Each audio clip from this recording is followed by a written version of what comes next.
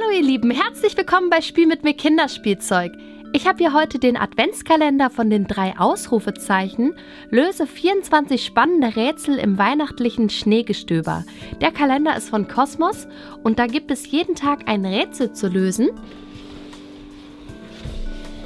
Ein kniffliger Fall muss bis Weihnachten gelöst werden. Im Skigebiet wird ein Kinofilm gedreht. Aha, okay, spannend. Und die drei Detektivinnen also Franzi, Kim und Marie, die schließen sofort den Labrador Felix, also einen Hund, ich glaube, den sah man auch vorne drauf, schon auf der Verpackung. Und den schließen sie ins Herz und der spielt im Film einen Lawinenspürhund, der Leben rettet. Und dann ereignen sich auf einmal am Set ganz merkwürdige Zwischenfälle und auf einmal verschwindet Felix. Die Filmproduktion steht auf der Kippe und die drei Freundinnen stürzen sich in den Fall und kommen hoffentlich mit unserer Hilfe jeden Tag der Lösung des Rätsels ein Stück näher. Ob sie es schaffen, den Filmdreh zu retten? Das klingt auf jeden Fall schon mal nach einer interessanten Geschichte. Hilft den drei Detektivinnen, den Fall zu lösen. Jeder Tag bringt, dich ein, bringt ein neues Rätsel. Hinter jeder Tür verbirgt sich eine besondere Überraschung. Inhalt einmal ein illustriertes Anleitungsbuch mit spannender Detektivgeschichte und 24 Rätseln zum Lösen und 24 Gimmicks für deine die drei Ausrufezeichen, aus, äh, drei Ausrufezeichen Ausrüstung. Okay, sehr spannend. So, so funktioniert der Kalender. Erfahre täglich, wie die spannende Detektivgeschichte weitergeht.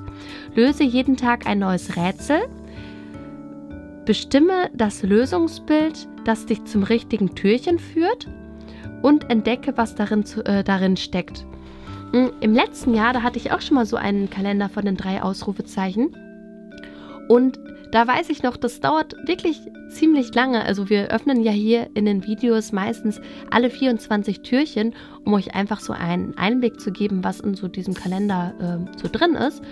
Aber bei diesem Kalender, da dauert es echt lange, weil man immer die Geschichte lesen muss, ein Rätsel lösen muss. Deswegen wird dieses Video nur mit den ersten sechs Türchen sein.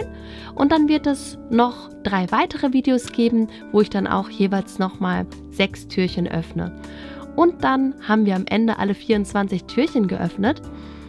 Ja, das finde ich auf jeden Fall spannend. Normalerweise öffnet man ja jeden Tag nur ein Türchen. Und das finde ich natürlich auch ganz richtig so. Aber wir hier bei Spiel mit mir Kinderspielzeug stellen ja ganz verschiedene Adventskalender vor. Und deswegen öffnen wir immer gleich mehrere Türchen. Einfach um zum Beispiel den Eltern einen Eindruck zu geben, welchen Kalender sie den Kindern kaufen wollen. Oder um euch Kindern einfach zu zeigen, was so in den anderen Kalendern ist, die man gerade nicht hat. Wenn ihr diesen Adventskalender von den drei Ausrufezeichen zu Hause habt, empfehle ich euch natürlich nicht vorher schon zu schauen, was da drin ist, sondern dann euch einfach von eurem Kalender überraschen zu lassen. Aber wenn ihr diesen drei Ausrufezeichen-Kalender nicht habt, dann könnt ihr natürlich einfach mal mit mir zusammen schauen, was da überall drin ist. Ich habe den Kalender nochmal umgedreht und hier kann man das so aufklappen. Und da ist genau nochmal das Bild drunter. Und ich glaube, man kann das so aufstellen. Auf jeden Fall sehe ich hier schon so Linien, wo man mit einer Schere irgendwie, glaube ich, auch was ausschneiden soll. Aber ich stelle uns den jetzt einfach mal hier so auf. Weil das sind die Türchen und das Interessante ist, das ist nicht wie bei einem anderen Adventskalender, dass da Zahlen drauf sind, sondern man muss wirklich immer die Rätsel lösen und erfährt dann, was man als nächstes öffnen kann. Da sehen wir auf jeden Fall schon mal Franzi, Kim und Marie.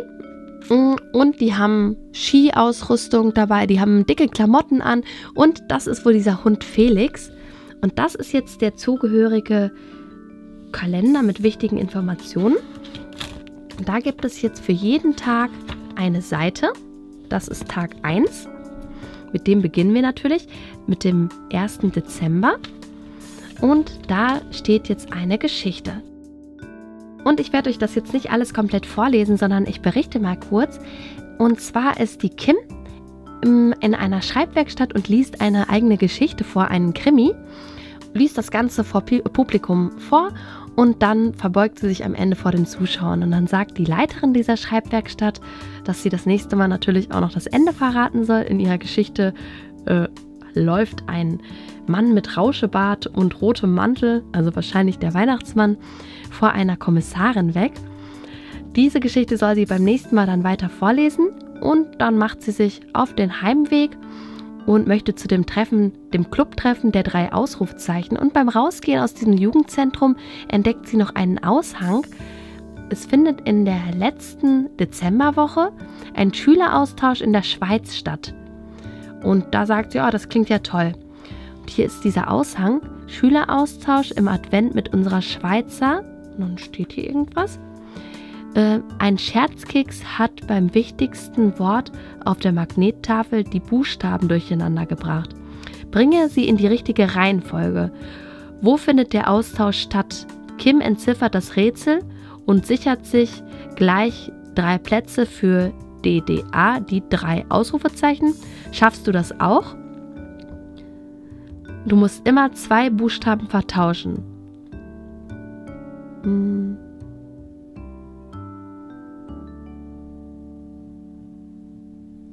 Okay, da schaue ich mal ein bisschen drauf. Vielleicht hat es jemand von euch schon direkt erkannt. Ich habe jetzt das Lösungswort schon rausgefunden. Hier ist ja ein guter Hinweis, man soll immer zwei Buchstaben vertauschen. Und wenn wir die beiden vertauschen, heißt das PA. Dann vertausche ich die beiden. RT, E und N, NE, Part, Ner.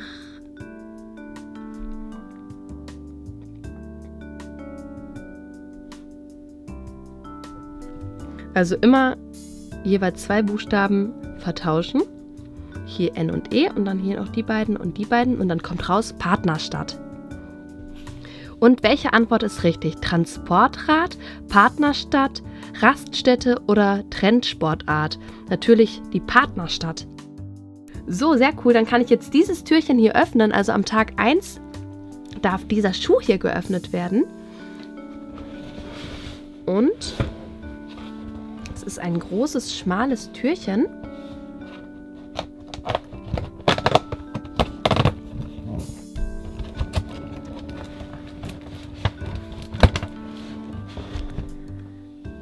Eins, zwei, drei, Action. Ich glaube, das ist ein Magnet, ein großer Magnet, den man dann an eine Pinnwand, Magnetpinnwand machen kann. Vielleicht ein paar Sachen damit äh, irgendwo festmagneten, damit man die nicht verliert. Und dann ist hier nämlich in diesem Heftchen auch immer auf der Rück Rückseite noch so eine Beschreibung, wie funktioniert. Noch 23 Tage bis Weihnachten und du möchtest noch so viele Dinge erledigen. Schreib dir jeden Tag auf einen Zettel, was auf keinen Fall vergessen werden darf. Hänge den Zettel mit dem Magneten an deine Metallpinnwand oder an den Kühlschrank. Natürlich kannst du dort auch nette Nachrichten für deine Familie oder Freunde hinterlassen. Ja, sehr cool ein schöner Magnet. Und wie versprochen geht es bei uns direkt mit Tag 2 weiter, mit dem 2. Dezember. Hier ist erst wieder eine Geschichte. Und zwar kommt jetzt Tim in das, äh, Kim, Tim, nicht Kim natürlich, in das Café Lomo. Da treffen sich die drei Ausrufezeichen immer. Und da sind dann schon die beiden anderen Freundinnen, Franzi und Marie. Und die sitzen auf ihrem Stammplatz in der Ecke. Und dann kommen die dahin und möchte, äh, die möchte von ihren Neuigkeiten berichten, dass sie eben diese Plätze für die Skifreizeit organisiert hat. Und die beiden anderen, die sitzen vorne am Tablet und haben auch gerade schon genau drei Plätze reserviert. Also haben die sechs Plätze und dann steht hier, das ist ja witzig, doppelt hält besser. Aber gar kein Problem.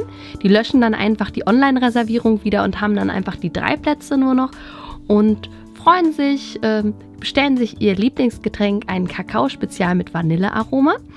Und dann sagt noch einer von den dreien, und zwar die Marie, ob die anderen schon wissen, dass dort ein Abenteuerfilm gedreht wird und dass alle Schüler, also auch die Austauschschüler, an diesem Film teilhaben können und dann ähm, so Statisten sein können. Wahrscheinlich so im Hintergrund einmal herlaufen oder so. Und da ist auf jeden Fall die Kim total erschreckt und ihre Handtasche fällt runter und sie bekommt sofort Lampenfieber. Wahrscheinlich freut die sich schon so, weil die gern an diesem Film teilhaben möchte. So, und der Inhalt der Handtasche kullert auf den Boden. Franzi und Marie halfen Kim beim Aufheben. Sieh dir die Gegenstände genau an. Sie haben alle etwas gemeinsam. Kommst du darauf? Oh, was haben die denn alle gemeinsam? Schlüssel, Schal, Schmuck, Socken, äh, Streichholz vielleicht, Schirm, Schuhe, Spiegel. Die beginnen alle mit S, ist glaube ich ähm, die, die Gemeinsamkeit. Alle Gegenstände sind aus Plastik, alle Gegend, äh, keine Gemeinsamkeit, alle Gegenstände beginnen mit S und die Gegenstände sind blau. Nee, alle Gegenstände beginnen mit S. Und das ist die Nummer 3. Und das ist hier dieses, ähm, ah, hier, das erkenne ich schon. Das ist das rote Kreuz, das auf dem Hund drauf ist. Das heißt, dieses Feld dürfen wir als nächstes öffnen. Oh, und was ist das? Ah, ich glaube, das ist ein Handtaschenhalter, ähm, damit der Kim sowas nicht mehr passiert.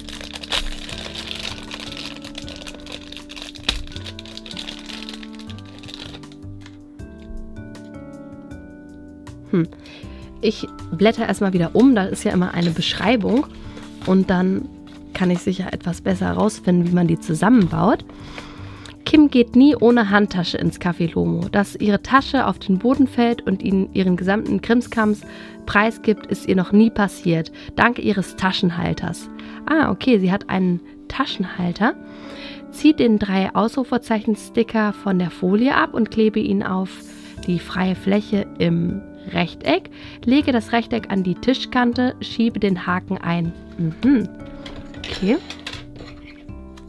Hier kommt der Aufkleber drauf. Das jetzt auf die Tischkante. Das probiere ich natürlich direkt auch mal aus. Hier an die Tischkante legen und ich glaube, jetzt kommt der Haken hier so rum rein und wird dann einmal rumgedreht. Hm, nee, das hält nicht.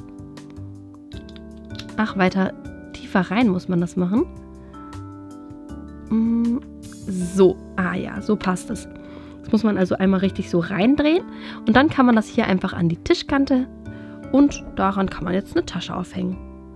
Sehr praktisch. So, Tag 3. Zwei Wochen später saßen Kim, Franzi und Marie dann im Reisebus Richtung Schweiz und als sie in der Schweiz dann angekommen sind, da ist alles total schön und malerisch mit Bergen und Schnee. Da kommt direkt, als sie aus dem Bus aussteigen, ein Hund angerannt und äh, vorher bekommen sie noch ihre Skipässe, weil die wollen da ja auch Ski laufen. Und der Hund springt Kim an und dabei fällt ihr der Skipass aus den Händen. Der Hund nimmt den Skipass dann wahrscheinlich mit den Zähnen wieder auf und dabei geht der Skipass leicht kaputt. Deswegen ist jetzt hier die nächste Aufgabe. Kim und Franzi, äh, nee, Marie und Franzi halfen Kim, die herausgerissenen Teile im Schnee zu suchen. Sie fanden jedoch nur drei Teile. Welches Teil fehlt? Okay, wir haben einmal hier das Teil. Wir haben, das gehört dann wahrscheinlich dahin. Und dieses Teil. Also Teil D fehlt. Teil D, das ist dann die Nummer 4. Und das ist dieser Stern, der oben auf einem Weihnachtsbaum ist. So, dann darf ich jetzt als nächstes also dieses Türchen öffnen. Und das ist hier.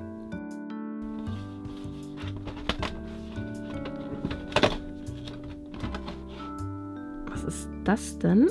Ein, ein Snowboardfahrer in einem Kreis? Ich schaue direkt mal hier nach. Wie funktioniert? Tolle Stimmung und jede Menge Leute auf der Skihütte. Ab jetzt nimmt niemand mehr aus Versehen deine Skibrille mit, ähm, deine Skibrille mit. Befestige den Clip an der Brille und schon weiß jeder, dass sie dir gehört. Ach so, okay. Außerdem kann man auch noch mit diesem Clip ähm, irgendwas anderes zusammenheften, zum Beispiel Briefe oder man kann das als Lesezeichen benutzen. Oder man kann es natürlich, wenn man die drei Ausrufezeichen liest, das als Lesezeichen dann in das Buch reinklipsen. Okay, ja, praktisch. Besonders praktisch finde ich das mit der Skibrille, damit man die nicht verwechselt. Und ich bin schon gespannt, wie es weitergeht diesem Hund und mit den drei Mädels da im Skiurlaub. Und dann sind wir schon bei Tag 4. Plötzlich spitzte der Hund die Ohren. Dann lief er auf einen jungen Mann zu, der in eine kleine Hundepfeife geblasen hatte. Ja, der junge Mann ist dann der Mika, der Hundetrainer vom Labrador Felix. Und Felix macht bei dem, äh, bei dem Film mit und deswegen ist der Hundetrainer mit dabei und passt auf den Hund auf, damit es ihm während der Dreharbeiten gut geht. Franzi streichelte Felix und der Vater von Franzi ist Tierarzt und deswegen hat sie einen ganz besonderen Draht zu Tieren. Wann fangen eigentlich die Dreharbeiten an? erkundigte sich Marie. Und äh, Kim hörte nur mit einem halben Ohr zu, als Mika morgen sagte, denn sie entdeckte eine Frau mit einer lila Mütze, die mit einer Zange vom Boden ein Stückchen Papier aufhob und das in einen Müllsack werfen wollte. Und da rief die Kim schnell Stopp, weil sie vermutete, dass das vielleicht dieses fehlende Stückchen von dem Skipass ist. Kim fischte das Teil aus dem Müllsack und checkte die Nummer, die darauf stand. Tatsächlich, es war das fehlende Teil. Kim war sich ganz sicher. Sie hatte die fünfstellige Nummer nämlich mit dem Major-Code zu Schneefall übersetzt. Kannst du das Wort wieder in eine Zahlenfolge verwandeln? Mhm, okay. Schneefall. Sch ist eine 6. Also als erstes 6. Schnee, also 2. Dann, wo ist das E? Schnee. Ach, jetzt sehe ich gerade hier oben. Streiche die Vokale. Also E, die Vokale kommen nicht mit. Also Schnee und dann Fall. 8. A soll man dann ja auch wieder streichen. Und 5, 5.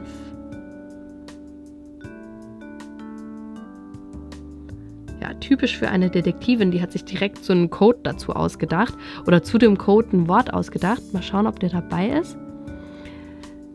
Ja, da oben ist der Code. Also diesmal ist es die Nummer 1. Und das ist das. Ah, hier unten. Hier unten ist der Schal zu sehen und dieses Türchen darf man als nächstes aufmachen. Ah, und da ist auch ganz passend dazu so eine Geheimschrift drin. Geheimschrift Das Haus vom Nikolaus. Die kenne ich noch gar nicht. Und da sind direkt zwei mit dabei. Da kann man das äh, durchtrennen und dann eins der Freundin geben und sich dann gegenseitig damit Nachrichten schreiben.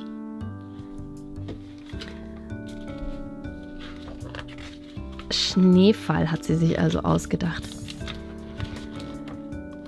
Geheimschrift zu entschlüsseln macht Spaß und ist ein Muss für jeden Nachwuchsdetektiv. Mit den Geheimschriftkarten geht das ganz leicht. Die soll man auseinander trennen, dann einen kann man einer Freundin geben und sich dann gegenseitig Nachrichten schreiben. Zum Beispiel der neue Sportlehrer ist fies. Dann sind wir bei Tag 5 angekommen. Die junge Frau mit der lila Mütze, die hatte lange dunkle Haare und sagte zu Kim, du hast aber scharfe Augen, weil Kim ja eben vom Weiten erkannt hat, dass das ein Stückchen von dem Skipass ist. Und verrät dieser Frau dann, dass das Hobby von den drei Mädels der Detektivclub ist. Und die Frau hieß übrigens Karen und war dadurch sehr beeindruckt. Und dann kam noch Arthur, Karens Freund, dazu.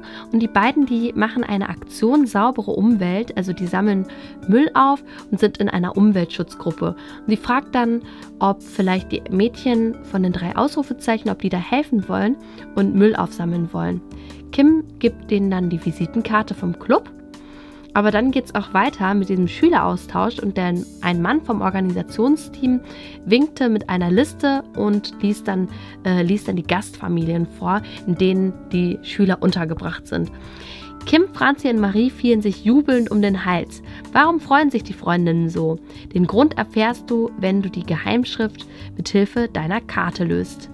Hm, warum freuen die sich wohl so? Dann will ich mal versuchen, das Ganze zu entziffern. Das ist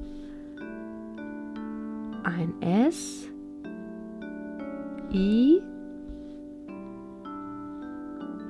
Sie. Achso, das kenne ich ja schon. S und I. Was ist das? N und D. Sie sind, ah, okay, sie sind, vielleicht sind sie alle in der gleichen Familie oder so. Hm. Ach, hier, N, A, C, H, B, ach genau, das hatten wir schon, A, Oh, das ist genau das gleiche, nur mit einem anderen Strich. Da darf man nicht drauf reinfallen. Mm. R, Nachbar. Hm. Punkt. Ach so, sie sind Nachbarn. Sie wohnen in einer Berghütte. Sie sind Nachbarn. Sie wohnen beim Schulleiter. Es ist also Nummer zwei und die kleine Flagge von der Schweiz. Und dann schauen wir mal wieder auf unseren Adventskalender und da oben sehe ich schon das passende Türchen. Ui, was ist das denn? Sticker. Klappe Action Go. Lieblingsmensch und frohe Weihnachten. Also verschiedene Sticker für verschiedene Gelegenheiten. Die drei Ausrufezeichen sieht man da auch. Also sechs coole Sticker. Und da schauen wir mal, was hier wieder dazu geschrieben wird. Wie funktioniert Freunde möchte man am liebsten immer in seiner Nähe haben. Die drei Ausrufezeichen begleiten dich ab jetzt durch die Adventszeit. Verziere mit den Aufklebern von Kim, Franzi und Marie deine Bücher und Hefte oder verschenke die Sticker an deinen einen ganz persönlichen Lieblingsmenschen. Ah, okay, kann man sich irgendwo draufkleben, auf Bücher, auf die Tasse, auf einen Brief und dann sind wir schon bei Tag 6 und ich hatte ja am Anfang gesagt, wir werden heute sechs Türchen öffnen und die nächsten sechs dann im nächsten Video. Deswegen ist das schon das letzte Türchen für heute. Und am sechsten Tag wird es spannend. Die sind jetzt also alle Nachbarn. Zwei Mädchen, und zwar Kim und Marie, würden bei der einen Familie wohnen und Franzi bei den Nachbarn. Also ganz praktisch direkt nebeneinander. Und die fahren dann im Auto mit den Gastfamilien nach Hause und lernen da dann schon die Familien kennen. Zum Beispiel die Bella, drei Jahre alt, ist die Tochter von Kim und Maries Gasteltern. Und die ist ein bisschen äh, frech und hat das Faustdick hinter den Ohren und stöbert immer in der Detektivausrüstung im Rucksack von Kim herum. Und Kim und Marie dürfen ein, sich ein schönes Zimmer teilen und abends gibt es dann ganz leckeres Essen, Käsefondue, zu dem auch Franzi und ihre Gasteltern eingeladen werden. Am nächsten Morgen geht es dann zur Schule und in der Schule hat Marie besonders Glück. Die sitzt nämlich neben einem ganz süßen, gut aussehenden Jungen, dem Nico.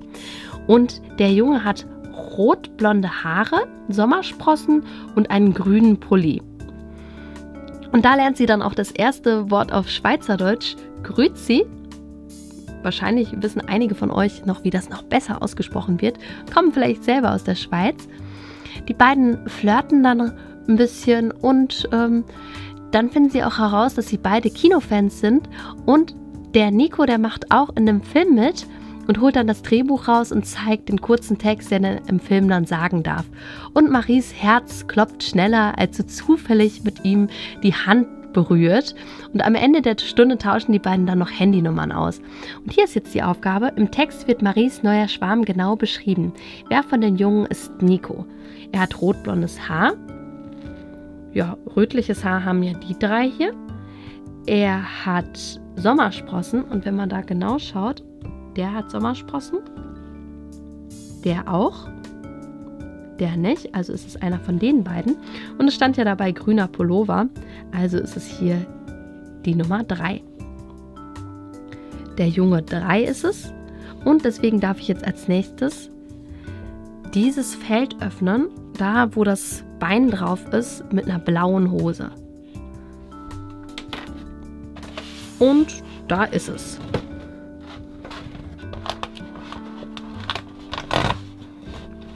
Hm, was ist das?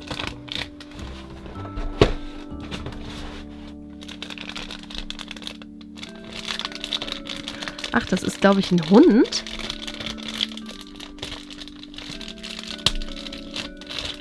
Zwei Hunde.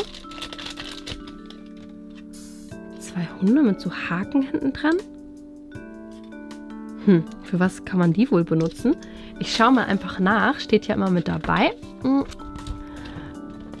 Wie funktioniert? Wenn du Filme oder lustige Videos auf dem Handy schauen willst, möchtest du das Handy nicht die ganze Zeit halten. Der schlaue Labrador Felix übernimmt diese Aufgabe für dich. Stelle die beiden Hundefiguren nebeneinander und stabilisiere den Handyhalter mit einem Stift. Ach, das ist ja praktisch. Das ist ja cool. Und dann kann man hier hinten das Handy draufstellen. Super praktisch. Und übrigens, Felix kann auch als Buchständer benutzt werden. Okay, super. Dann haben wir jetzt also diesen Handyhalter, einen Taschenhalter, eine Klammer ein Magnet, Sticker und Geheimschriftkärtchen. Das waren also die sechs ersten Türchen. Ich freue mich schon auf die nächsten Türchen, die wir dann gemeinsam öffnen. Ihr könnt ja mal in die Kommentare schreiben, wie es euch gefällt, ob ihr die drei Ausrufezeichen auch gut findet, ob ihr die Geschichte spannend findet. Vielleicht habt ihr auch schon eine Ahnung, wie könnte die Geschichte weitergehen, was passiert wohl. Also gerne alles unten in die Kommentare schreiben und beim nächsten Mal werden dann die nächsten sechs Türchen geöffnet.